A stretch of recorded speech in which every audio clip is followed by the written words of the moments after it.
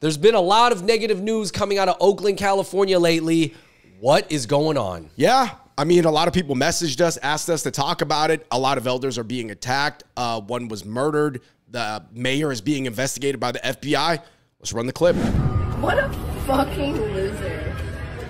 Oh my god, he really hit her. What a fucking bitch, dude.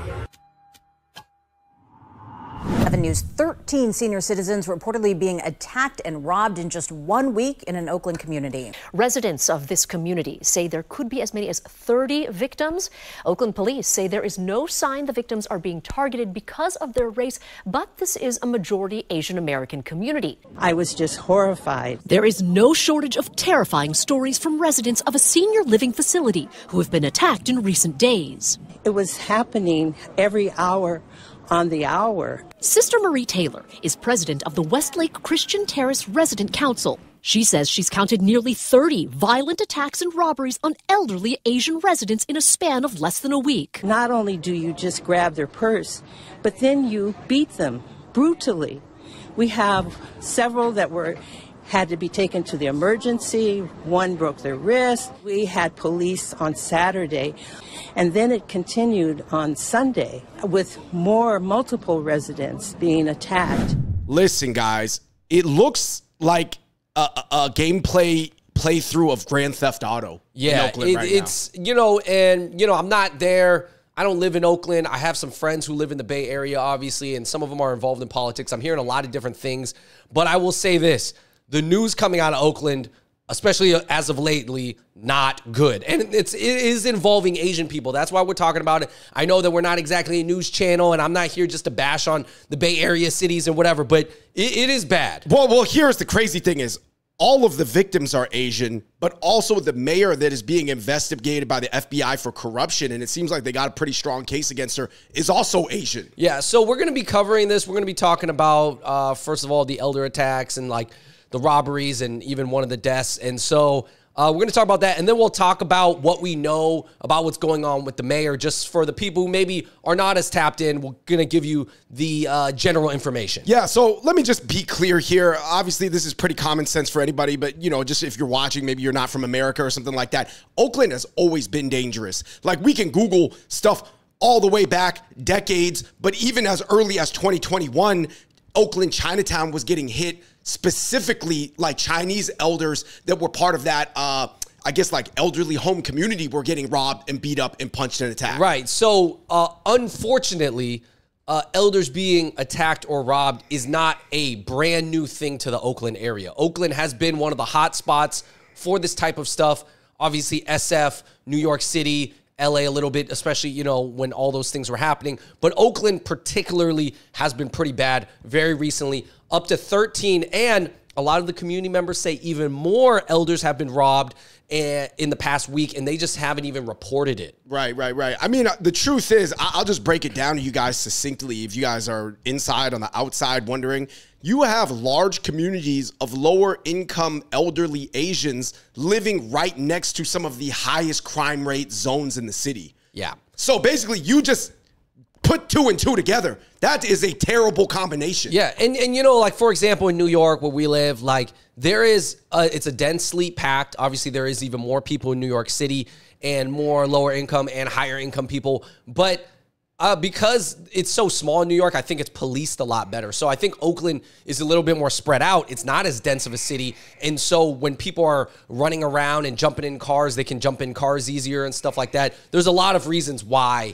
you know. Yeah, well, I mean, there, let's be honest here. I, I'm just going to keep it real because the news has gotten so bad. There's memes right now about like the Bay Area, Portland, and Seattle, everybody, you know, Spider-Man pointing at each other to see who can possibly have the worst policies regarding crime and safety possible. Right.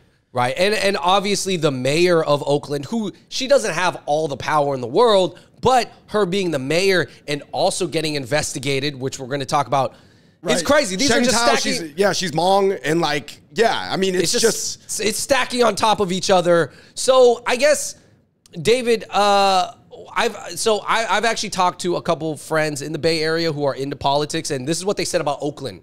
All right, one friend said Oakland is real life GTA.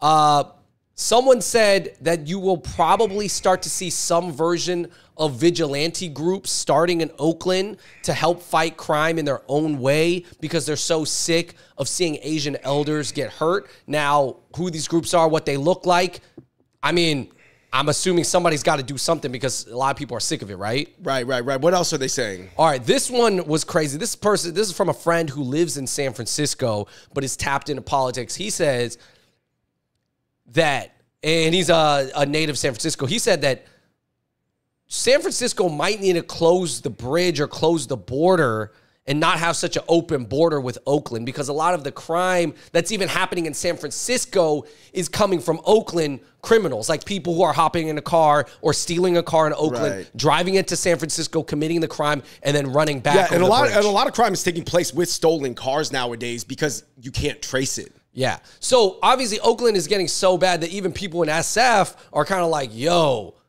we might need to close the border. That's that sounds crazy. And I, I feel like they're not gonna do it, but it does like in a weird way, it, it sounds like some weird like dystopian thing. You know what I mean? Right, and Oakland is what having trouble self-policing because of due to budgetary concerns, right? I mean, and I- not only is there a there's the budgetary pool that every city has, right, collected from various uh, places and cash flows, but then there's also the deployment and distribution of that budget pool. Yeah, a- and, I, there's a lot of factors why Oakland doesn't have as much money right now. Um, you could point to some of the sports teams leaving Oakland. Warriors have left. The A's are leaving. The Raiders have left. Who else is leaving? Yeah, and those- In and Out is leaving. In and Out Whoa. is leaving because one uh just got hit too much, or there was just too much troubles. Oh, there was a lot of troubles at In and Out. So Yeah. like the In and Outs are pulling out of Oakland. a lot of businesses are pulling out of Oakland, I believe. Yeah, it's rough, man. Um, and that's probably mostly due to crime, to be honest. You know, um, so I guess yeah, people who live in Oakland, the watchers, the, you know, the audience I- out there who's in who's in the Bay Area, let us know how you guys feel about it because clearly all the news we're hearing is her terrible. Two and a half years ago, I filmed something in Oakland for Netflix, and that boba shop that I got this pea flower boba from that was colored blue, it was delicious, is closed down. Oh.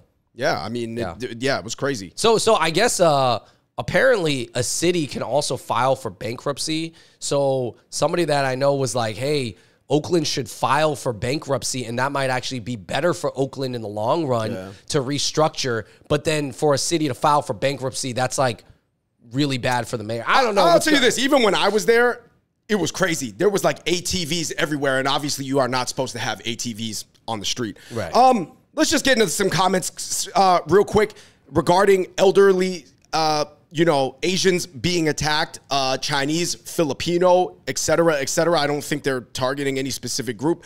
Um, it says it looks like a certain racial group, Asian, is being targeted again. Hate crimes need to be charged. Yeah. But then they're saying that Asians are not actually considered a protected class, and usually hate crimes primarily, even though that's not how they're designed, is as it plays out, it's mostly for white supremacists hate crimes. No, I, I I think it's clear that they are targeting Asians uh, as easy targets, especially the elder Asians, and uh, it's f certainly hateful.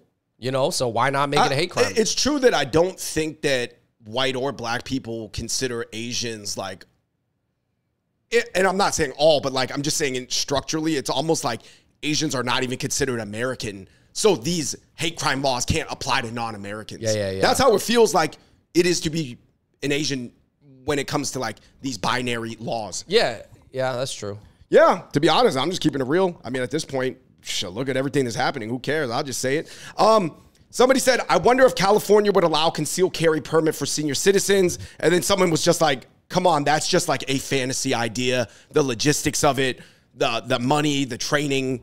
No, I'll tell you this. All the people who are getting attacked or even more tragically murdered are being murdered by people who feel like they're easy targets.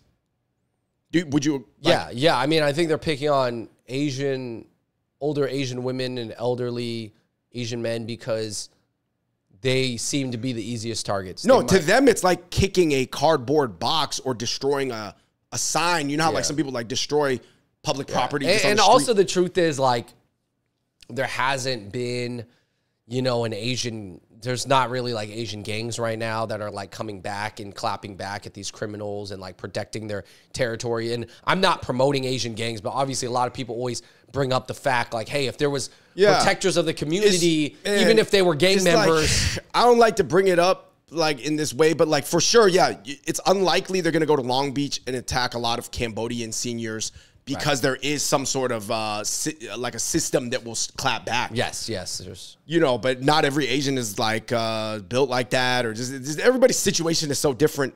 And uh, you know, somebody's obviously got to take the responsibility, and then the heat that comes along with that responsibility, et cetera, et cetera. Somebody said crime is down. They say because statistically it's down about thirty percent, but a lot of people are accusing people of juking the stats, whether that's reclassifying crimes, Andrew, or they said the new trend uh, across the country is police simply not prosecuting crimes. yeah, yeah. So if you don't prosecute crimes, they don't count as crimes. Also, I meant like, the DA's office, obviously the police, but, but the police not even arresting and having the write up to begin with. And, and even in overall, if certain aspects of crime are going down, but the crime and targeting of Asian elders is going up, then obviously as Asian people, we feel it five times harder. Like, well, everybody's like, oh yeah, crime's down 25%. Great. Oh, Asian elders attacks are up 700%. But as long as our crime's down overall. right, right, right. And then obviously some people commented like, hey, this has been happening even 15 years ago when I lived in that neighborhood. It's horrible. They've always been targeting elderly because they think they carry cash and they can't defend themselves and they don't have any backup. Let me say this. This is true. In South Seattle, Asian elders, people at our church got robbed. It wasn't this brutal though. It wasn't like this how it is now. Like I'm saying that they're all right though. Like the sentiment was always there that like Asians were weak and had money. Right. But it wasn't ever like to this level where they're like the the threat of death is there. It was like maybe a push, a punch. Now it's like getting way too brutal. Um, somebody said nothing's gonna stop until this starts happening to upper class Asian Americans. Actually, I would argue that it's really probably not gonna happen until it, it touches like somebody who's not Asian. Yeah, yeah. Do you think it would matter if upper class Asians were getting robbed? I mean, in, if It, would was, matter more for sure. Yeah, for sure, because these are lower income, newly arrived immigrants or people with non citizen status. Right, right, People, right. even within the Asian world, are like not. It's not like the highest profile people. Yeah, yeah, yeah. And also, like, if it was happening in better neighborhoods, for sure they would care. You know, but if it's happening more in the neighborhoods that it's supposed to happen in, then people are like, "Oh, it's bad," but it's like, "Ah, what can you do?" Right, right, right. Or if this elder Oakland Chinatown zone is just adjacent by a few streets, that people will write it off as well as uh, proximity. yeah, Um. Anyway, let's just get to the mayor, Andrew. The mayor's situation. She's under investigation by the FBI. She's pretty defiant. Everybody on her team is jumping ship right now because she looks cooked. Yeah. Sheng Thao looks cooked. Now, uh, her lawyer just resigned. Um, I think she had some other aide. Deputy of. Communications. The deputy of Du- communications has resigned. Um, so I watched the full interview of her on the news, on the Oakland news, and uh, you know, I don't really know what the investigation is about because it's ongoing and they can't talk about it. But it seems like the last thing her lawyer did say was that she's not the target of it, and that it might be someone related to her or her partner, or boyfriend, or whoever it is. So Andre just- Johnson or something. yeah. Andre Jones, I think. And either way, it's just a terrible look. And a lot of people that general sentiment is like people don't like her, obviously, you know. Yeah, yeah, so yeah. Whether or not, however she got elected, at the end of the day, she did get elected though. She did. Get She did. elect- She did. get elected, yeah. And uh, anyway, let's just get in the comment section. Somebody said, always funny to see how extremes on both sides of the spectrum are so similar. When caught, they gaslight, make up persecution claims, and anyone who's around them smart enough dumps them. Yes. Well- And this does happen, guys. I understand Oakland. I know Sheng Thao is, is a Democrat, whatever, like, oh, Democrat city. So I'm like, this does happen to every side, right side and left side. When they get caught, they just make up excuses. A lot of people are talking about how the National Guard was sent in and the California Highway Patrol to deal with basically Oakland's uh, crime situation because it was just getting so out of hand, stolen cars and things like that. Um, somebody said it's not really your fault. She's not a good mayor, but the city was also in shambles before she took office already. Yeah, you know, I I I I, I don't want to defend her, but I don't think any mayor, whether it's Eric Adams in New York City or Sheng Thao in in Oakland has all the power to switch a city from bad to good. There is nobody that has that power almost. Right. You know what I mean? So while the the state of the city at the moment is not fully her fault, obviously I think that you know a lot of people still feel like regardless she's not doing a good Do you job. think this is the best case scenario, Andrew? That people go into the position with good intentions. They see all the systems around them are corrupt or quasi corrupt, and they figure, I might as well profit off this while I'm here because this whole ship is going down regardless. So let me siphon off what monetary benefit I can get from it. Yeah, I hope they don't. I hope they don't do that. But I do think that people generally,